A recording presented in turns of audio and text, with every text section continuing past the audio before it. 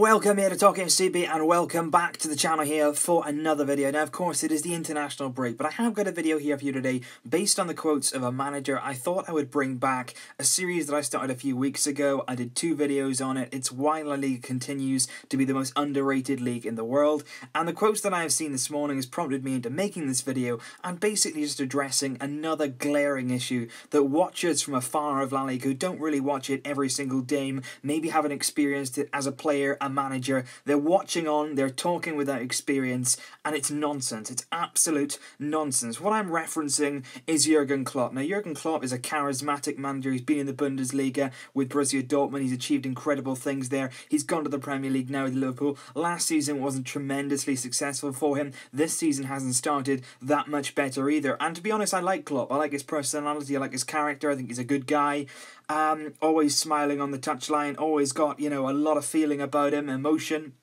But what he has said here, and you can see the quotes here, is absolute nonsense. He says the big difference to Spain is that Barcelona can play 50% of their games with Team B, or there are games where Lionel Messi runs 4.3 kilometres but still scores 5 goals. That's a recovery session. In England, they have no recovery sessions in absolutely any game. Basically saying that in Spain, in La Liga, Barcelona never have to play at their ultimate. And he said the same about Real Madrid. He said they don't have to play at uh, in 50% of their games they can play with a B team. And he's basically saying, oh, you know, Messi doesn't even run around, yet he can still score five goals. Doesn't have to run to achieve that? Where in England, you do.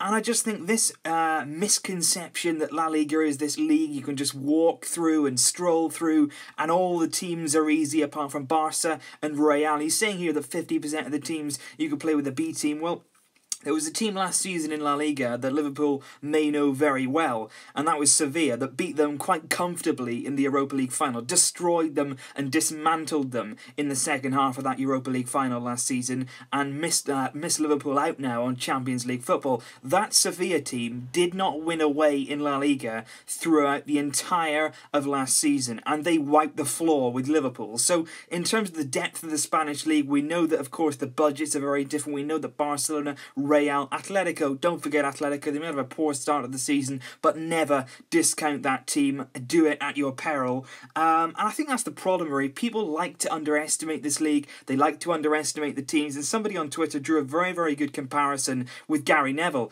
Gary Neville, before he came to La Liga, often made remarks. He's a very smart, intelligent guy as well. He's very much a football man, but he did underestimate the, the league when he came to La Liga. He was with Valencia, he had some good players, no doubt the club was in a bit of turmoil, but at the same time, he struggled tremendously with not only Barca, Real, but every team in that league was a struggle for him. He struggled to get wins, he struggled to get points. And exactly the same can be said for David Moyes. Every sort of British manager that comes to La Liga finds themselves talking about it before they go and experience it. And then when they actually do come to La Liga, you listen to Gary Neville talking about it now, his perception has completely changed. And that's what I mean in terms of Jurgen Klopp has never managed in La Liga, he's never played in La Liga. So I just think that he should possibly go there experience it, understand the league first, and then speak second. Because quite frankly, what he said today about running, about the fact that Lionel Messi doesn't even run yet scores five goals, when is football judged on the amount of the amount you run? Jurgen Klopp likes to, you know, press high. You heard about Gegen pressing. He likes to really get in your face, run a lot, work very hard, and that's fine. Intensity's great, but at the same time, you still need that element of control, and that is what England lack, and that is why possibly you can say the games, the intensity intensity is so fantastic because they're running around, they're chasing their first touch, they're chasing long balls. In Spain, there's more control, there's more, you know, there's more um, tactics about the way the game is played very, very technical. And the fact is that people don't run as much. They simply don't because they got control of the ball. And let me just read out a quote here um, on running in football. And it is absolutely fantastic, brilliantly timed. Again, on Twitter, I found this. Complimenting players for running the most kilometres is the stupidest thing to do in football. A player is on the pitch to play football, not to run. That came from the master himself, Johan Cruyff. And that is absolutely spot on. Why are we supposed to be judging players here on the amount that they run. This is not athletics. This is not a team that is supposed to be running around a track trying to secure medals. This is football. Control of the ball, touch, elegance, technique. Why are we measuring it on how much we run? And I, I you know, I, some things that Klopp say, you know, fair enough.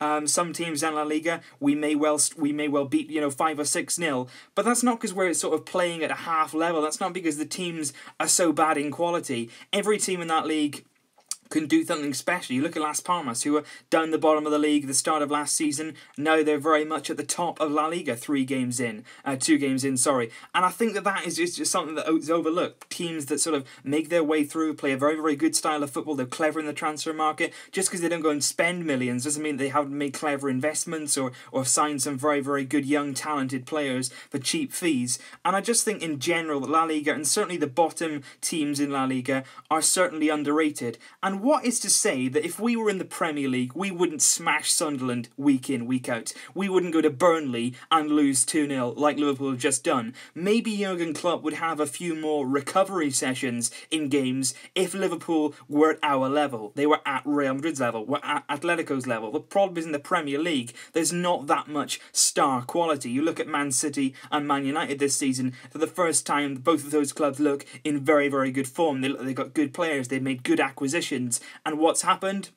Three games played, three wins for both, three pretty easy wins. They're not recovery sessions, it's just because they're that much better than the opposition they're playing. That's football, that happens in every league. Just because the teams are not spaced out by one point doesn't mean the La Liga are not competitive. Every single team will arrive on the day and give us a game. But of course, being Barcelona, being the team that we are, we can raise our level. We've got a deeper squad than most of the teams in this league. It's just how it works. So for managers, especially somebody of Jurgen Klopp's intelligence, somebody who's certainly very much a football man, who's achieved a lot in his career, career to come out and speak like that about a league which, like I say, he hasn't experienced, a league that certainly is up and coming and has been dominating the European stage for a number of years now. And he himself had experience of two teams last season in the Europa League. Villarreal beat Liverpool away from home. Liverpool managed to overturn that deficit in the home leg. But like I say, the Europa League final against Sevilla, a team that didn't win away in the whole of last season, Sevilla beat Liverpool, no problems at all, no questions asked. So I think Klopp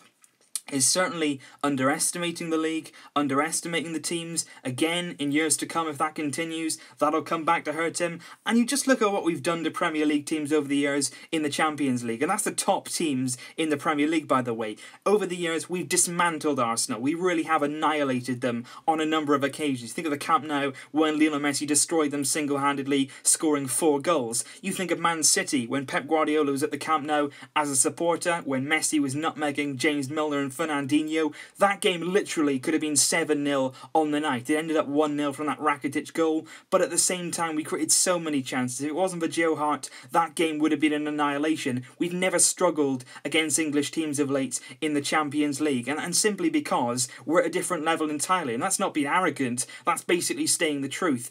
English teams in the Champions League at the moment are not at that level. We're a step ahead, so Real Madrid, so Atletico Madrid, and it's simply that gulf in class which produces those big results. Doesn't necessarily mean the teams in La Liga are not as good, or as competitive as they are in the Premier League, they may well be, but we are a step above anything in the English League, and it's that simple reason which provides these results which may look like recovery sessions, but really it's a team that is so well drilled, so well organised, so in control that maybe we don't have to run as much, maybe we don't have to run around intensely for 90 minutes to just bust ourselves over the line. We've got that control, we've got the quality we need, we don't need to run, we will do our work with the ball. And I think that's the difference there. You know, you can't judge football on running. That's not the way it's supposed to be played. You look at that Johan Cruyff quote, it tells you everything you need to know. And I just think Klopp needs to be certainly more streetwise when it comes to talking about La Liga because things have advanced. English Premier League is no longer what it was. It may well be back on the up now. There's a number of fantastic managers